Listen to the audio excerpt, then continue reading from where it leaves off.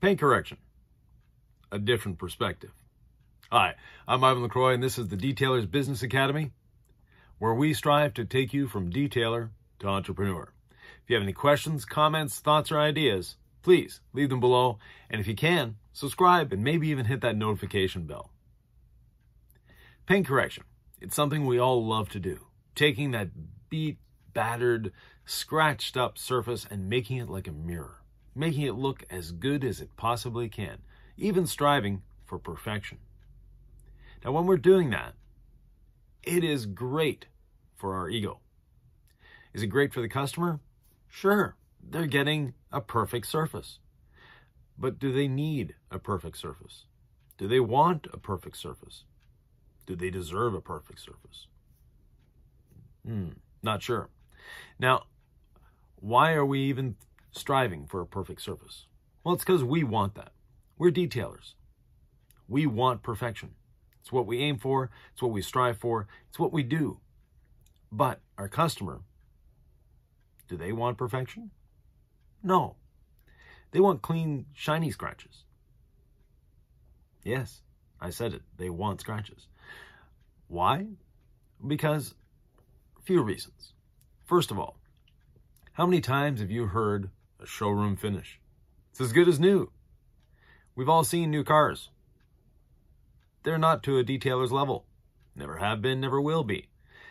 They've been on a truck, they've been on a train, they've been through many hands, they've seen brushes, they've seen lot washers, they've seen all sorts of things.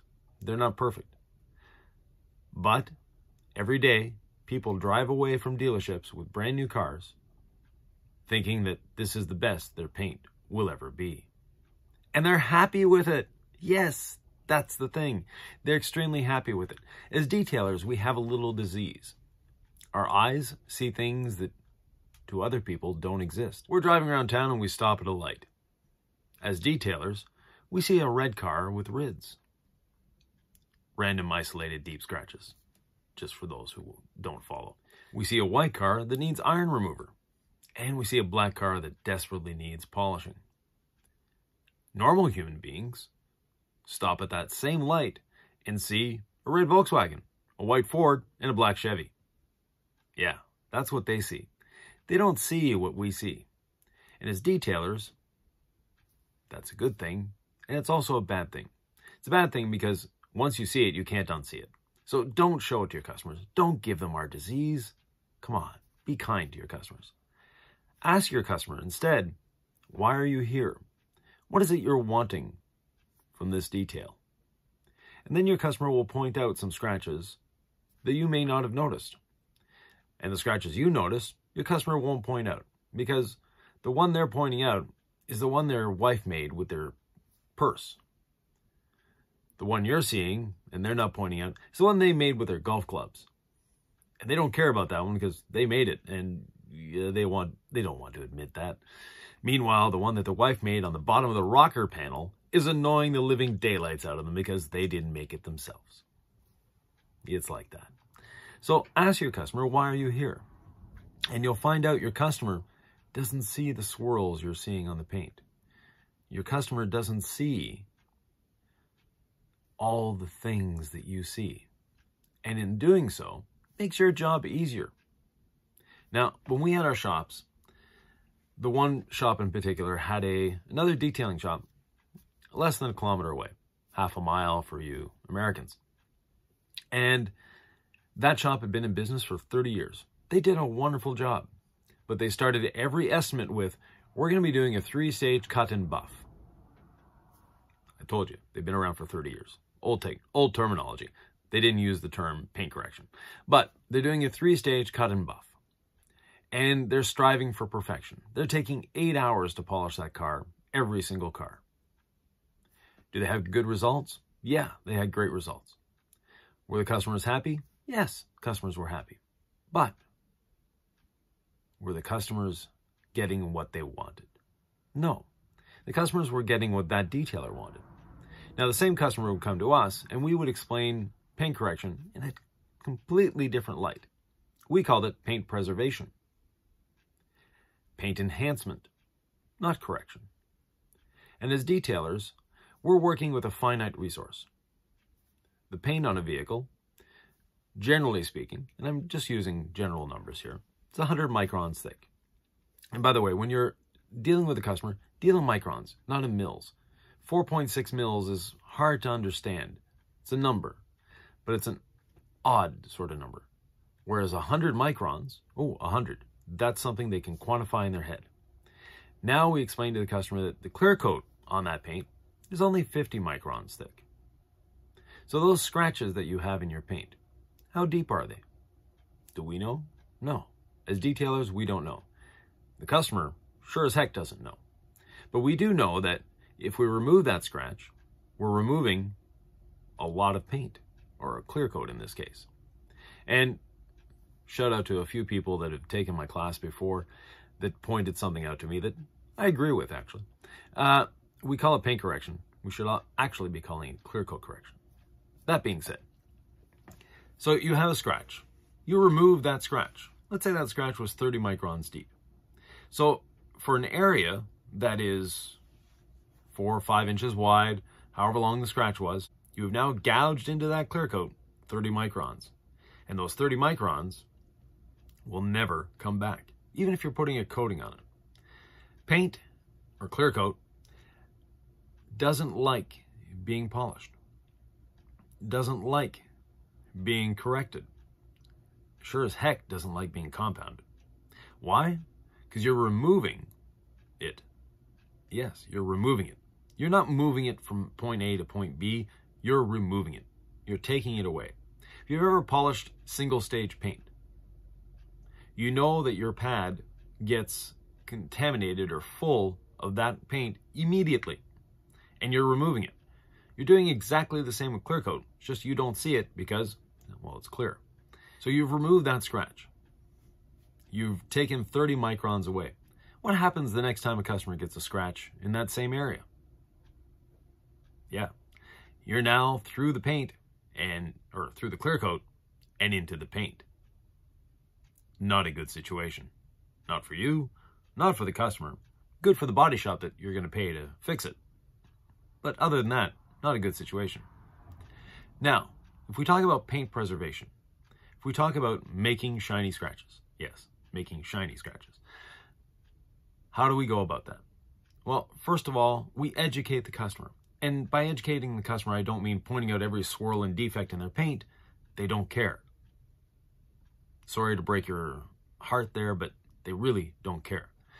You're going to spend hours polishing a car, and next week they're going to take it through the car wash. Yep. Or they're going to wash it at home with a single bucket, dish soap, and use their father's leather chamois that he gave them 20 years ago and that he used for 30 years. It's a little worn and battered. Yes, your customer will do that to all your great work. You strive to make it perfect. They're going to ruin it once again. Now, as detailers, we need to remember the scratches on the paint are not our fault. We didn't put them there. The customer did. And the customer, for the most part, doesn't really see them. And I know some of you at this point are going, my customers see everything. My customers, yes. I've been all over the world teaching. And in every country I've been to, in every province, in every state, they say, oh, our customers here are different. Your customers are not different. They're the same everywhere. Trust me. Been there, done that. Unless you point out all these things to your customers, they won't see them. So don't point them out. Ask your customer what they want. Now, Paint preservation. We're going to be polishing the paint lightly. Our goal is to deoxidize the paint. Our goal is to round over the scratches. And when you round over the corners of the scratches, they become a lot less apparent. Now, in the proper light, yeah, they're still going to be there. And speaking of lights, you know, we're using really high powered lights these days. When I started detailing, we would polish the car, back it out into the sun, look at it and go, wow, we did a great job. We had nothing else. Yeah, we had bulbs hanging in the shop that, yeah, provided a bit of light. But if we wanted to see the truth, we brought it outside. And our customers still are seeing their cars outside to this day.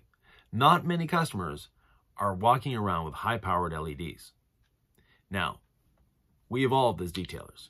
We got the Brinkmann Dual Light. Yes, the swirl finding light. That was an upgrade. Then, those of us that had the budget bought a 3M sun gun. Oh, now we could see even more scratches. Then we got these beautiful LED lights. Well, we see scratches that, unless you have that light, we don't see. Next, you know, we're going to see someone with a 747 landing light in their shop looking for scratches.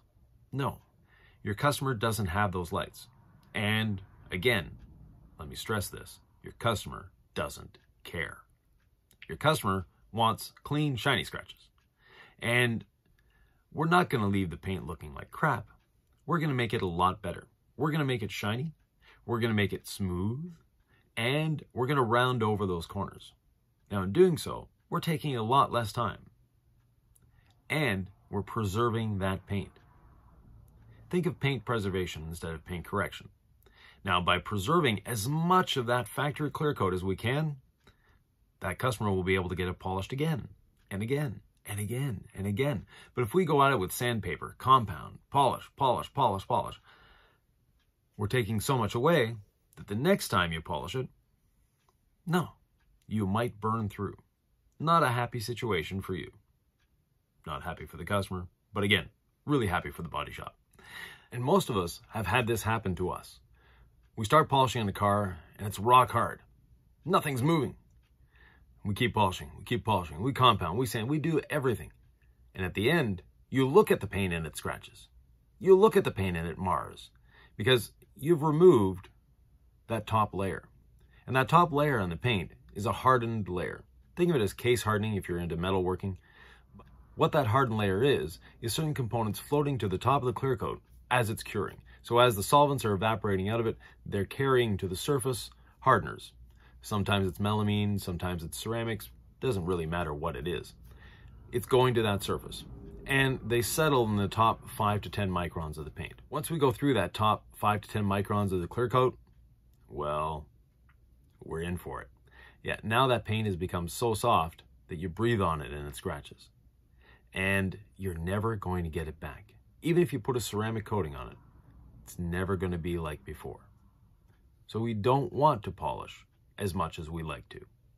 As detailers, we tend to over polish things. And in reality, we're not helping the customer, we're ruining their car. We're destroying their paint by correcting it. How are we destroying their paint? We're taking too much away. By taking too much away, we're making it soft and we're making it more susceptible to damage. So next time you go to put a polisher to the paint, think about what you're doing. Are you really helping the customer by making it perfect? Probably not. Are you flattering your ego? Yeah, definitely, yeah. Are you going to post pictures online and say, look what I did? Probably. Are your customers going to care that you have the accolades of your fellow detailers? No. They're going to care what their car looks like, how much they paid you, and how long is it going to last. And lasting, well, the more you polished, less chance that beautiful finish is going to last because the customer won't take care of it like you would. Thanks for watching. If you have any questions, comments, thoughts, or ideas, leave them below. And stay tuned for the next one. Thanks.